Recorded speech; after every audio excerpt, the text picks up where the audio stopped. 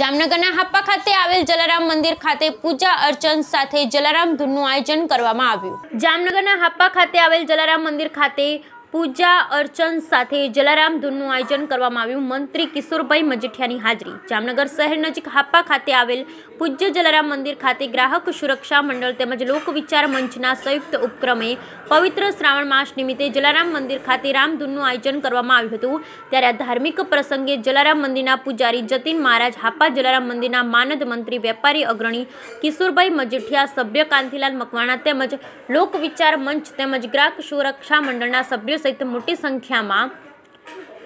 શ્રદ્ધાળુઓ ઉપસ્થિત રહ્યા હતા. Bureau report Inayat Khan Pathan Jamnagar.